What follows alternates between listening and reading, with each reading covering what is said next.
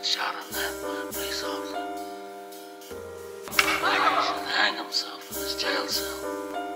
or if he's struck by a bolt of lightning, then I'm going to blame some of the people in this room. And then I do not